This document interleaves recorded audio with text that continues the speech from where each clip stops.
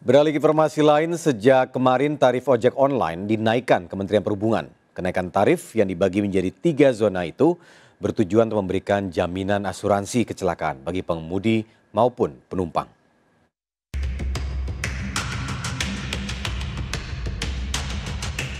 Anda pengguna ojek online?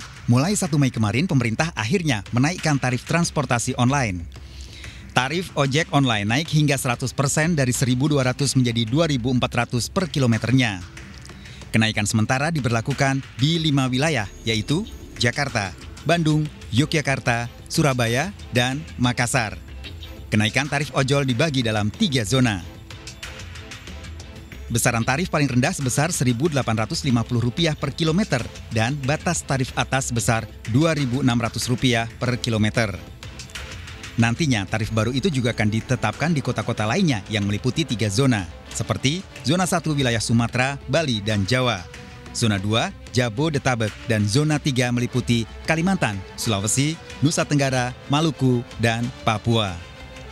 Penetapan tarif dilakukan guna melindungi konsumen dan memberikan kepastian kepada pengemudi ojek online.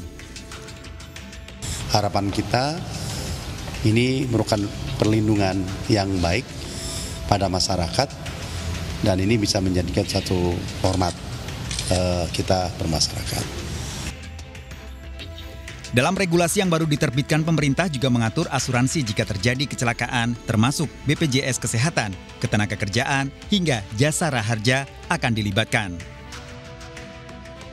Nomor pun juga agak berkurang, mungkin kalau pas di jam-jam masuk kerja mungkin udah agak ramai kali ya gitu kan. Tergantung juga sih kak, kan banyak customer tuh menilainya dari harga gitu, harganya yang murah gitu. Pengennya pengennya murah tapi ya gimana? Kita juga bingung kak. Kalau harga murah bensin pun kita nggak nutup. Kan keselamatan baik pengemudi maupun penumpang uh, sebagai top prioritas kami. Kalau misalnya kita perhatikan sekarang, uh, bahkan dari beberapa saat yang lalu sudah ada fitur-fitur yang terkait dengan safety. Yakin um, hal ini akan berdampak positif untuk masyarakat, sehingga kita uh, menepati peraturan ini juga.